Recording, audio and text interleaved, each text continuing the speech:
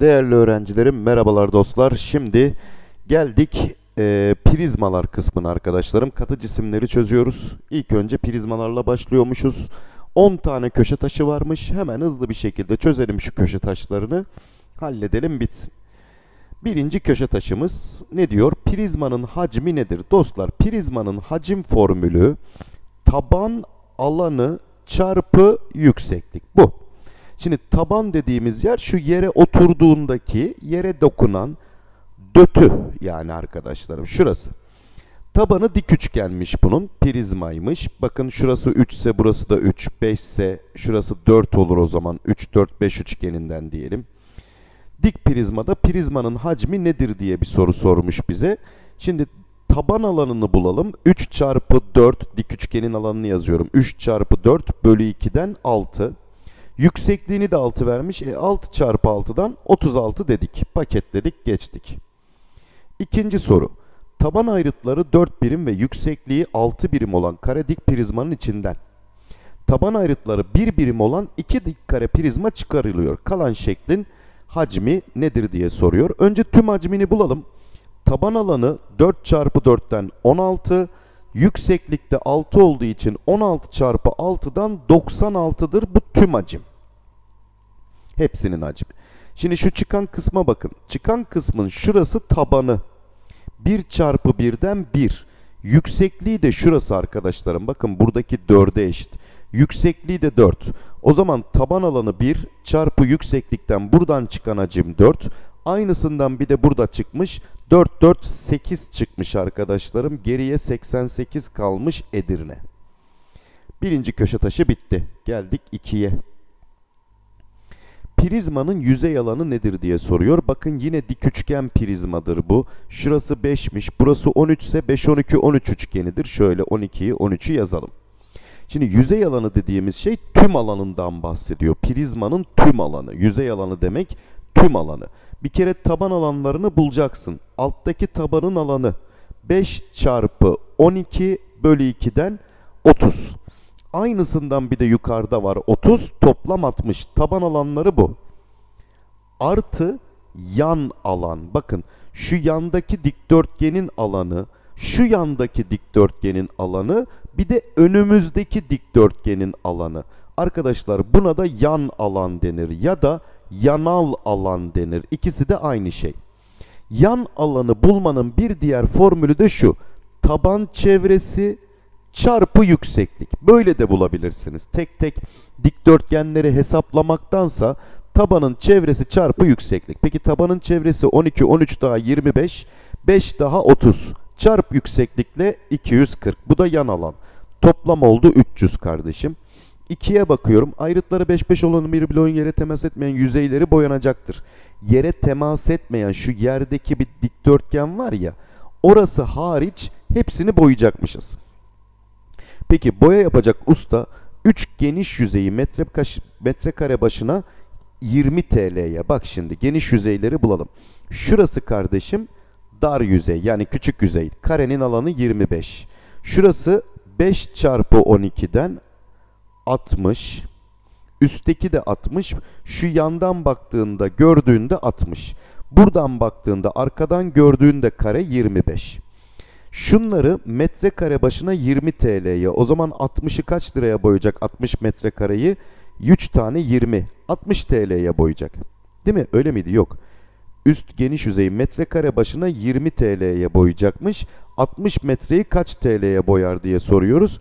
120 sıfır olur değil mi? Peki. Aynısını buradaki 60 içinde konuşalım. 60 çarpı 20'den 60 çarpı 20'den bu. 3 tane 12 1200 var yani 3 tane 12 var. Ne yapar? 36 çift 0 buradan geliyor. Dar yüzeyi metrekare başına 30 TL'ye, 25'i de 30 TL'ye boyayacak. Yani 25 çarpı 30'dan 750 TL'de bu yapıyor. 750 de buradan geliyor. 1500 de oradan geldi toplam. Ne yaptı? 4000, 5100 yaptı arkadaşlarım. Cevap Edirne. Evet. Şuna geldik. Ayrıtları 2, 3 ve x olan dikdörtgenler prizmasının hacmi 36. Dikdörtgenler prizmasının hacmi taban alanı çarpı yüksekliktir. Yani kısaca 3 kenarının çarpımıdır 36. 6x 36 ise x de 6 çıktı. Prizmanın yüzey alanı nedir diye soruyor dostlarım. Şimdi prizmamızı şöyle çizersek bir kez daha. Şöyle çizelim. Şurası 2, şurası 3, yüksekliği de 6 olsun. Şimdi taban alanını bulacaksın. Yani 2 çarpı 3'ten 6 taban alanı. Üst tabanı da var 12. Artı yan alanı nasıl buluyorduk? Tabanın çevresi yani 2, 3 daha 5. 5 de bu iki kenardan geliyor. Tabanın çevresi 10. Çarpı yükseklikten 60 da yan alan. O zaman tüm yüzey alanı 72. Şuna bakalım. Prizmanın hacmi nedir diye soruyor. EF'yi 8 vermiş.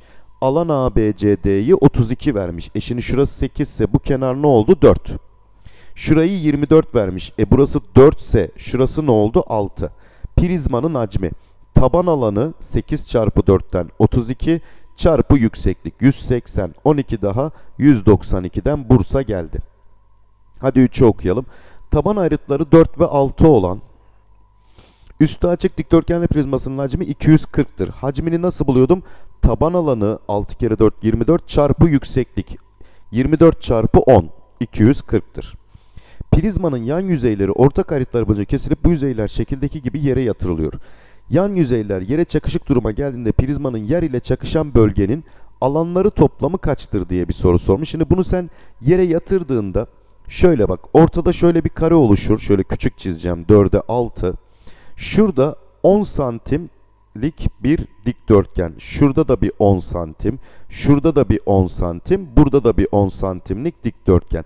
Yani şuradaki alan 40. Aynısından burada da var 40, 80. Şuradaki alan 60, şuradaki alanda 60, 120 topladım. 200'lük bir alan kaplar yerde. Ama C diyor cevaba. Bir daha bakalım. Yer ile çakışan bölgelerinin alanları toplamı kaçtır diye bir soru sormuş bize dostlarım. He, bir de ortadaki şeyi unuttuk lan. Ortadaki şu 6 kere 4'ten bir de 24 orada var. 224 doğru doğru. Ana az daha yanlış yapıyorduk gidiyordu. Hadi şuna bakalım. 12 A üssü C. Bakın bu A üssü C'ye cisim köşegeni denir. C üssü A'ya da cisim köşegeni denir. D üssü B'ye de cisim köşegeni. D B üssüne de cisim köşegeni denir. Prizmamızın 4 tane cisim köşegeni var. 4'ü de birbirine eşit. Hemen bulalım. Cisim köşegenini bulmanın yolu aslında şu.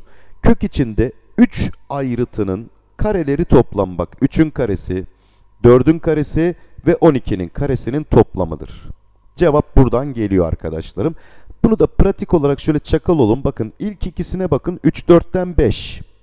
Burası 5'in karesi yapar. 5 12'den de 13. Cevap 13'tür arkadaşlarım. Böyle çakallık da yapabilirsiniz. Şuna bakalım. Farklı yüzey köşegenleri olan dikdörtgenler prizmasının cisim köşegeni nedir diye soruyor. Şimdi dikdörtgenler prizmasının cisim köşegeni şuydu. 3 ayrıtının kareleri toplamıydı arkadaşlarım. Bana bunu soruyor. Ben neyi biliyorum? Şimdi bir prizma düşünün şöyle dostlarım. Çizelim hemen bunu şöyle. Şu mesela şurası A olsun, B olsun, C olsun. Burası da A, burası da B. 3 farklı yüzeyinin köşegenleri. Mesela şu kök 41 olsun. O zaman A kare artı B kare 41'e eşit. Yazıyorum buraya. A kare artı B kare 41 olur. Mesela şu yüzeyinin köşegeni 65 olan olsun. 65 de burası kök 65.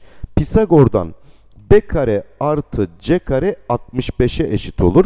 Son olarak ne kaldı? a kare artı c kare de 74'e eşit olur. Şimdi hepsini alt alta topladığımda 2 tane a kare, 2 tane b kare, 2 tane c kare geliyor. Toplayalım şurayı. 100, 170, 170, 10 daha 180 geldi dostlarım. Demek ki a kare, b kare, c kare 90. Şuraya 90 yazdığımda kök 90 o da 3 kök 10 olarak dışarıya çıktı. Şuna bakalım. Taban ayrıtları 2 olan kare dik prizmacının tahta blok şekildeki gibi eş bloğa ayrılıyor. 4 tane eş blok. O zaman bunların her biri 1 1. Yüksekliğini biliyor muyuz? Taban ayrıtları 2 birim olan kare dik prizma. Yüksekliğini bilmiyoruz şu anda arkadaşlar. eş kare yüzeyleri boyunca yapıştırarak aşağıdaki dik prizma oluşturur. Elde edilen prizmada AB yani cisim köşegeni bakın şimdi yüksekliğini bilmiyorum x x x diyelim şuralara. Şurasını 1 diyebiliyoruz. Genişliğini de 1 diyebiliyoruz derinliğini. Şimdi cisim köşegeni demiş değil mi? A ile B'ye cisim köşegeni denir. Yani kök içinde 4x'in karesi 16x kare artı 1'in karesi artı 1'in karesi. Yani 1 artı 1 eşitmiş 9 kök 2'ye. Hemen her iki tarafın karesini alalım. 16x kare artı 2 eşittir. 81 çarpı 2'den 162 olur.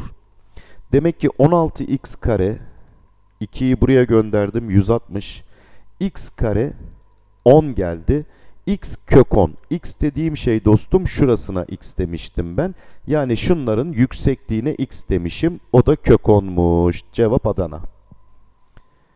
Evet 5. köşe taşımız. Hacmi 64 santimetre küp olan bir küpün, küpün hacmi A küp formülüyle bulunuyor ve bu 64'müş. Demek ki A 4. Yüzey alanı da 6 tane kareden oluştuğu için 6 tane karenin alanıdır. 6 çarpı 16 yani 96. Şuna bakalım. H, D, B'nin alanı 18 kök 2. Dostum küpün bir kenarına A, A dersem şurası A kök 2. 45, 45, 90'dan. Şurası A ve burası da kesin dik. Şuradaki üçgenin alanı A çarpı A kök 2 bölü 2'den 18 kök 2'ymiş. Kök 2'ler gitti. A kare eşittir 36. A'yı 6 bulduk. Küpün hacmi 6'nın küpü. 36 çarpı 6'dır. 216 yapar. Geçtim buna. Ayrıtları bir üç olan demirden yapılmış içi dolu bir dikdörtgenler prizması el, eritilerek elde edilen maddenin tamamıyla içi dolu bir küp yapılıyor. Dostum şimdi bunun hacmini bir biz bulalım. Taban alanı çarpı yükseklik ya da üç kenarının çarpımıydı. 1 çarpı 3 çarpı 9 27. Şimdi sen bundan küp yapıyorsun. Küpün hacmi 27 olacak. Demek ki A 3. Bu küpün bir ayrıtı ne olur? 3 olur. EGB'nin alanını vermiş. Bak buraya A dersem bu da A, bu A kök 2. Aynı şekilde bu da köşegendir A kök 2. Bu da köşegendir A kök 2. Yani bu üçgen eşkenar üçgen çıktı. Eşkenar üçgenin alanı neydi? Bir kenarının karesi çarpı kök 3 bölü 4. İşte bunu 18 kök 3 vermiş. Kök 3'ler gitti. Şurası ne yaptı? 2a kare bölü 4 eşittir 18. Gitti gitti 2 kaldı. a kare 36'dan a'yı 6 buldum. Küpün yüzey alanı nedir diye soruyor. Küpün yüzey alanı 6 tane a kare. 6 tane 36. 216 yapar. Edirne'den çıktı cevap. Evet. Bu köşe taşımız ne diyor? Dikdörtgenler prizması diyor. AK KB'nin 4 katıdır. Yani şurası 1 ise şurası 4. Çünkü toplamını 5 vermiş zaten. HDK şimdi şurası 3'müş. 90 olduğu için şurayı 5 bulduk. Şurası da 6'ymış arkadaşlarım. Bakın bizden şu dik üçgenin alanını yani 5 çarpı 6 bölü 2 istiyor. 15'i paketledim. Geldim buna. Bak burada 5, 12, 13 çıktı. Bizden bu dikdörtgenin alanını istiyor. Bakın 5 çarpı 13'tür. Bu dikdörtgenin alanı 5 çarpı 13 de 50, 15 daha 65 yapar. BC 4 küpmüş bu arkadaşlarım. O zaman buralar 2, 2, burası 4, burası 2 kök 5. Şu yüksekliğimiz de 4 oldu bir kenardan dolayı. Bizden yine şu oluşan mavi dikdörtgenin alanını istiyor. O zaman 4 çarpı 2 kök 5'ten 8 kök 5 gelir. Şuna bakalım. Kare dik prizma 4 4 8. ABCD yüzeyinin ağırlık merkeziymiş burası. Şu köşegeni çizdiğimde yani burası 2'ye bölecek burayı. 4 8'den 4 kök 5'tir. 2 kök 5 olur burası.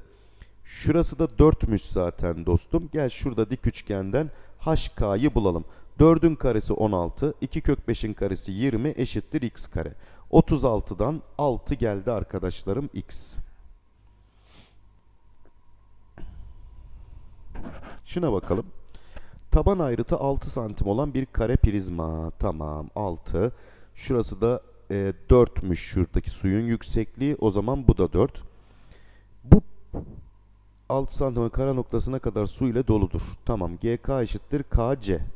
GK KC eşittir. AL 4. Tamam. Bu prizma BCGF BCGF şu yüzeyinin üstüne bırakılırsa diyor. Tamam. Su yüksekliği ne olur diye bir soru sormuş. Gelin önce şu suyun hacmini bulalım. Şimdi taban alanı 6 çarpı 6'dan 36. Yükseklikte 4, 144. Suyun hacmi 144.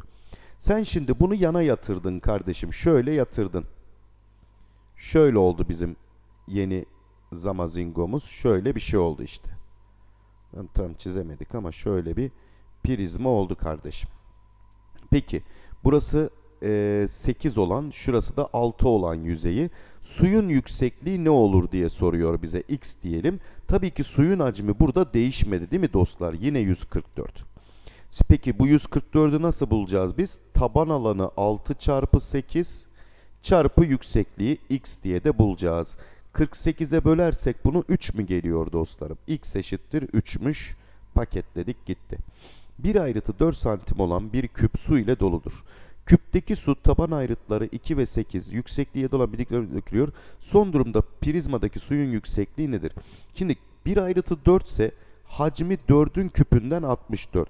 İçi de su doluysa demek ki suyun hacmi de 64. Şimdi ben bunu şöyle bir prizmanın içine dökeceğim kardeşlerim. Taban ayrıtları 2, 8 yani 2 çarpı 8'den 16. Yüksekliği de kardeşim bu suyu döktüğümde 4 santim olur suyun yüksekliği. Çünkü hacmi 64 olacak arkadaşlar. Taban alanı çarpı yükseklik 64'e eşit olmalı. E tüm yükseklik 7 idi. 3 santim yüksekliğinde boşluk kalır. Bize suyun yüksekliğini soruyor. 4 santimdir suyun yüksekliği. Dikdörtgenler prizması su doldurur. Bu prizmadaki su bitene kadar bir kenara A küp olan dökülüyor. Buna küp tamamen dolduğuna göre A kaçtır diye soruyor bize. Tamam. Bunun hacmini bulalım. 3 çarpı 8 çarpı 9. Şimdi sen bunu bir kenara A olan küpe boşaltıyorsan demek ki küpün tamamıyla bunun hacmi birbirine eşitmiş. Hadi burayı bir toparlayalım. Şunların çarpımı 27 çarpı 8'dir. 27 3'ün küpüdür. 8 2'nin küpüdür. Eşittir A küpe. Küpleri sildim. 3 kere 2'den A 6 çıktı arkadaşlar. Ayrıtları olan dikdörtgenler prizması zeytinyağı ile doludur. Prizmanın içindeki zeytinyağı bir kenarı 2 olan küpe küplere doldurulacaktır diyor. Tamam. Şimdi buradaki zeytinyağının hacmi 4 çarpı 5 20 çarpı 6 ile 120 yapar. Bir kenarı 2 olan küpün hacmi bir kenarı 2 olan küpün hacmi de 8'dir arkadaşlarım. Bu 8'den kaç tane olursa böyle yan yana 15 tane olursa 8 çarpı 15'ten 120'lik şeyi doldurabiliriz diyor bize. Evet 8. sorumuz. Yukarıdaki küpün açılımı veriliyor. KL'yi vermiş 2 kök 13. Gelin şurayı bir bulalım arkadaşlarım öncelikle. Şuradaki dik üçgenden. Şuraya K, K, K, K, K diyelim. 3K, 2K. 2K'nın karesi 4K kare artı 3K'nın karesi 9K kare eşittir. 2 kök 13'ün karesi 52. 13K kare eşittir 52. K kare 13'e bölersem 4, K eşittir 2. Küpün bir kenarı 2 çıktı. Hacmini soruyor. 2'nin küpü 8. İkinci soru. Küp biçimindeki karton D1 D2 boyunca katlanarak üstü açık prizma elde edilir. Ardından açık tabanlar kapatılıp hacmi bilmem ne olan kaparı prizma oluşturuluyor. Buna göre prizmanın taban alanı nedir diye bir soru sormuş bir tanem. Hemen bakalım dostlarım. Bakın K, K, K diyorum buraya. Bu kare olduğu için burası 3K. Şurası da 3K. K'lar da buraya geldi. Dostlar tabanı eşkenar üçgen oldu. O zaman taban alanı eşkenar üçgenin alanı yani k kare kök 3 bölü 4 çarpı yüksekliği 3k işte bu 48 kök 3'lük bir hacme eşitmiş. Kök 3'ler gitti. Burası k küp yaptı. 3'e bölersem 16, 4 ile çarparsam da 64 yaptı. Demek ki k buradan 4 geldi. Taban alanı nedir diye soruyor bize taban alanı dediğimiz eşkenar üçgenin alanı yani 4'ün karesi kök 3 bölü 4. 4'lerden biri giderse 4 kök 3 olur taban alanı. Evet 9. zamazingodayız. Kenarları 11 ve 7 olan dikdörtgen bir bir kartonun her köşesinden kareler kesiliyor. Karambar üstteki prizma elde ediliyor. Prizmanın hacmi nedir diye soruyor. Şimdi bir buradan bir buradan kestiysem ortaya 9 kaldı. Bir bir buradan kestiysek 5 kaldı buraya. Şimdi sen bunu böyle kesip de bir prizma yaptığında dostum şurası prizmanın yüksekliği olur. Böyle katladığında yukarıya şöyle bir prizma elde edersin bak. Tabanı 9'a 5 olan şurası 9 şurası 5 yükseklikleri de 1 olan üstü açık bir prizma elde edersiniz dostlarım. Şöyle bir şey. Yüksekliği 1 santim olan bir prizma. Bize bunun hacmini soruyor. Taban alanı 9 kere 5 45. Yükseklikte 1 olduğu için yine 45. Şimdi burada ne diyor? Bir kenar 12 santim olan kare şeklindeki karton köşelerinden 4'er santimlik. Bakın buralar 4, 4 ise buraya da 4 kaldı. Şimdi demek ki şurasılar kesik ya artık buralar yok. Oluşan karedik prizmanın yüzey alanı nedir diye soruyor bize. Bakın yükseklik şurası oluyor yani 4. Tabanımız da şurası değil mi? Şunların üstüne katlıyorsun sen şöyle bir prizma elde ediyorsun dostum burada. Ee, tabanları da 4 4. Yüzey alanını soruyor bize. Üstü açık olduğu için 5 tane kare kalıyor geriye dostlarım. 5 tane 4'ün karesi 16 çarpı 5'ten 80 olacak diyebiliriz. Ama bir daha bakalım.